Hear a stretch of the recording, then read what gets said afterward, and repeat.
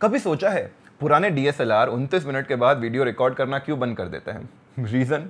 obviously taxes imported DSLR पर लगने वाली एक्साइज ड्यूटी के रूल्स में एक लूप होल था, जिसका फ़ायदा सोनी निकॉन कैनन सबने उठाया और गवर्नमेंट ऑफ़ इंडिया को लगा दिया लगभग पचास हज़ार करोड़ रुपए का चूना। एज पर द रूल अगर कैमरा 30 मिनट से ज़्यादा की रिकॉर्डिंग करता है तो फ़िल्म कैमरा की तरह क्लासीफाई होता है, जिस पर लगती है वही एक्साइज ड्यूटी लेकिन अगर 30 मिनट से कम की रिकॉर्डिंग करता है तो उस पर एक्साइज ड्यूटी एग्ज़ाम थी। तो इवन दो ये कैमरास परफेक्टली केपेबल थे तीस मिनट से ज़्यादा की रिकॉर्डिंग करने में, लेकिन कंपनी ने इंडिया में टैक्स बचाने के लिए